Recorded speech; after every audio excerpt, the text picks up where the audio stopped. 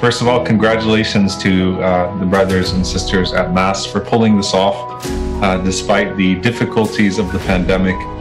So, on behalf of the community as a whole, Jazakumullah khairan to all of you at MAS, brothers and sisters, for putting together this, this incredible convention for free.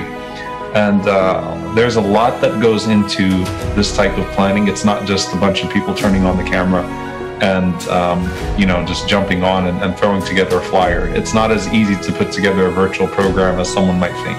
So may Allah bless you all, and it's a pleasure to be included once again.